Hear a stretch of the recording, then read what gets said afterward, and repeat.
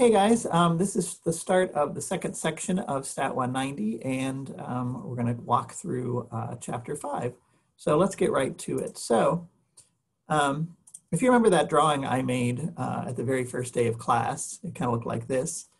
And um, the idea is that, right, we start with this idea of a population and populations are, you know, a whole set of things um, hopefully something that we're interested in. We've collected some information about it or we're going to collect some information about it. We'll call that data once we get it. But for now, the idea that there's just a whole bunch of things. And normally we think of that as people, but sometimes it's uh, products we make at the assembly line or uh, mice in our study or uh, not, not mice in our study, mice in general. And we're going to take a subset of that population and call that a sample. And a sample is just the group that we can easily measure from. Because remember, the idea of a population is that it's either big or maybe even it's theoretical because we're not just thinking about the products that we've made today at the factory, we're thinking about the products that we're going to make in the future. So it's not even a real, excuse me, physical population, it's a prospective population. Anyway, the first part of the class, we've been thinking about descriptive statistics where we use the sample to just draw conclusions about the sample. So in the particular data set we have, 32% are red.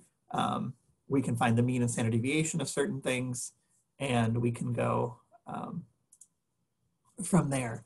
But what we want to do now is think about the more complicated parts. And there's two parts left. And on the first day, I mentioned that probability is the second part of the course, and that's what we're going to be starting now. The third part of the course is inference down here, and that's cool too, but we're going to get to that in the third part of the course. Anyway, the idea of probability is we're going to take our population and using mathematics and using assumptions, we're going to use probability to try to draw conclusions about what a sample from a population might look like. Now, compared to other um, things that we do in the class, this is going to be a lot more math heavy. And in fact, probability is actually a branch of mathematics. Inference uses mathematics and descriptive statistics used arithmetic and mathematics, but probability really is taking assumptions and getting to conclusions. So a lot more like what you did in geometry class, if you remember back to there, than uh, what we do in science. And I think we talked before about how um, statistics really does bring together the ideas of math and the ideas of science.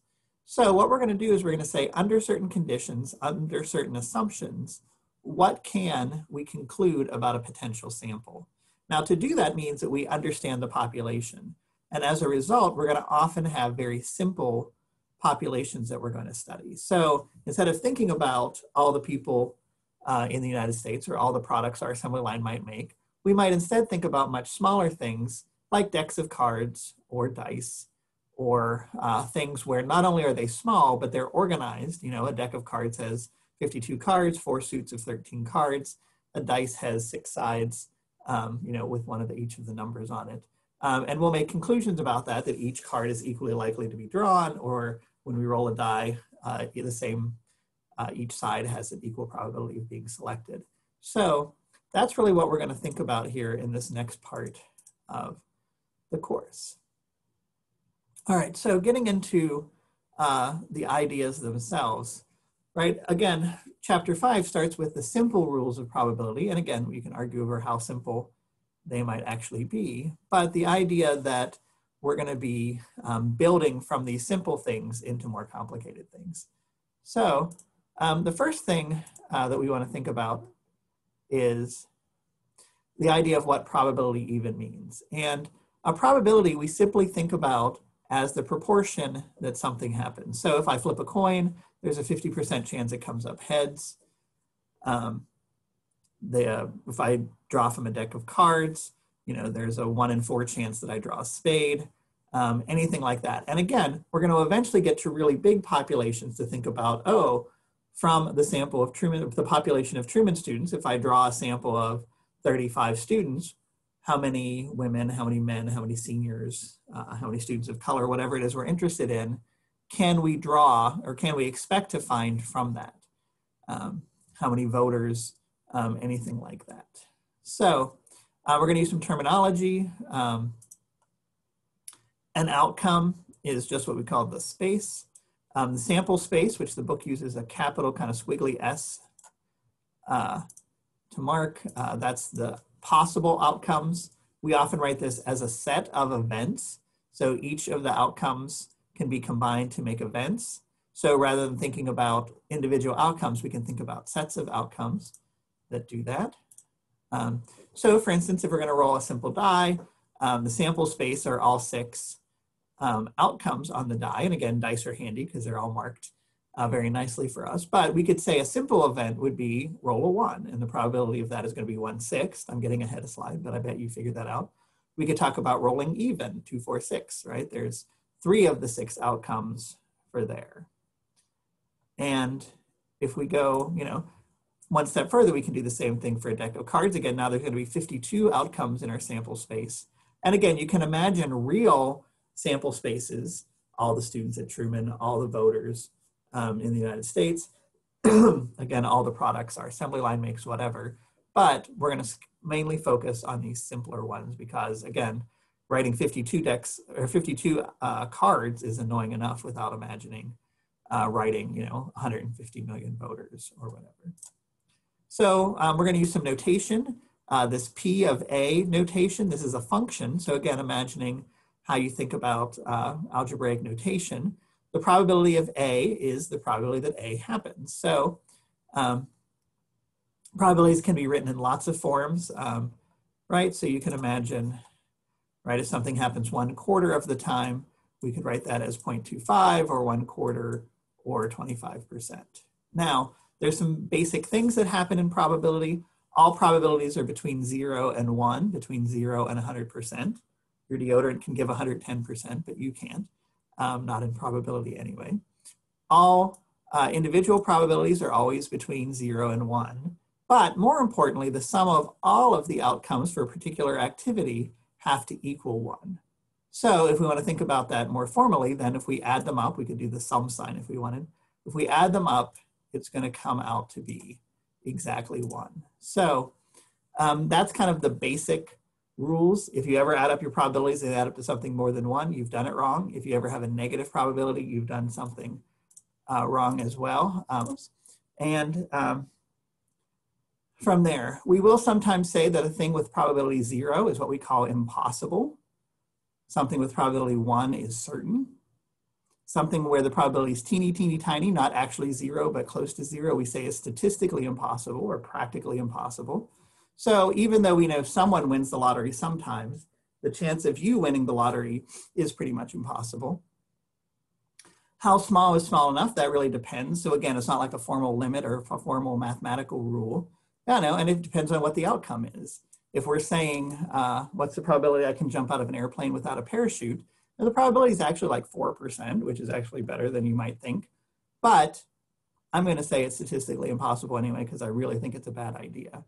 Now, probability can get um, more complicated than that, but at its simplest, that's how we think about it. When we interpret these numbers, there's really three different ways that we think about it. One is an empirical probability, which is the idea that we actually watched it a whole bunch of times. So the idea that the probability is the relative frequency. So I rolled my die 100 times. How many times did I get a one? Well, I can do that and calculate the exact sample probability of that. The empirical probability is based off real data. The classical idea is based off of assumptions. So again, if I assume that my dice is fair, then if I roll the die 100 times, I would expect one sixth of them to come out with a one, regardless of what actually happened. And we know if we do the empirical probability, we would get different answers each time, but with the classical method, we would get it about the same. There's also an idea of subjective probability. And subjective probability is one of those things where you don't really use math at all. You just go, oh, I feel like that happens about a quarter of the time.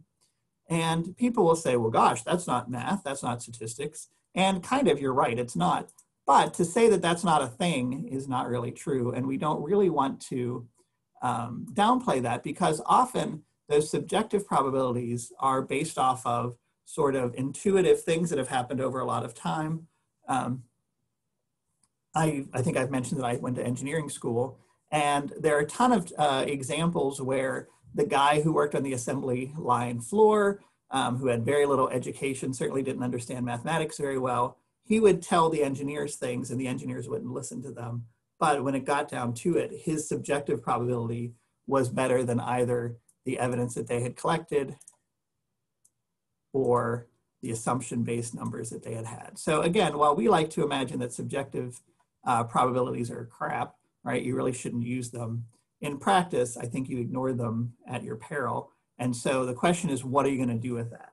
And, you know, certainly, you know, we think about luck, we think about people making guesses, you know, the idea of, uh, you know, Babe Ruth pointing at the where he's going to hit the home run. I mean, that's all cool, but you don't want to just base it on that. So again, in this class, we're going to not really think about subjective probabilities, but to say that they're useless is totally not true. And so I don't want you to think about, um, you know, just totally throwing them out into the trash can, even though in this class, we're going to kind of do that. Okay, so um, again, we could work out uh, problems in the two different ways. We could build a model using mathematics, or we can collect evidence. And ideally, we're gonna bring the two of those together somewhere in there. So imagine if we had 500 families and each of them had three children, and we found that 180 of the families had two boys and one girl. We could estimate the probability of that, right? That's 180 out of 500, that's 36%. But we could also compute it using uh, one of our assumptions like assuming that men, boys and girls are equally likely being born, how could we work out the probability of that? Often we'll use what's called a probability tree when we do that. And the book has a lot of examples. And when you get into the homework, it'll have uh, pictures of these. But the idea is, right, our first one comes out and we have a first baby and it's either a boy or it's a girl. And then the second one comes and again, now we have a boy, girl, boy, boy, girl, boy. And when we get to the bottom, you can see that three of the out, eight outcomes are there. So three of the eight outcomes are uh, two boys and a girl. So that's three eighths, 37 and a half percent. That's actually, you know, 36% is what our data showed, right out of 500 multiply. Um, but, right, which of those is more accurate? Well, the data is the data. So in a way, the 36% is better but again, since we're trying to think about the potential for future cases, that 37 and a half is more mathematically accurate if the assumption of equally likely births is true. okay, so we can work it out either way. So again, 36% here or 37.5% here. Right, and again, psychologically, we could think of other things subjectively. Um, certainly we know that a lot of families with a lot of boys and then a girl is an example where a family wanted to have a girl, so they kept having children until they had one and those sorts of things. But that gets really complicated. And again, not what we're doing in this course. So this idea of either doing the empirical method where we look at data or we do the classical method where we think about some assumptions and we go from there.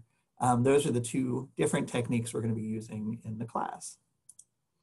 All right, um, 5.2 starts in a second and that will be a separate video.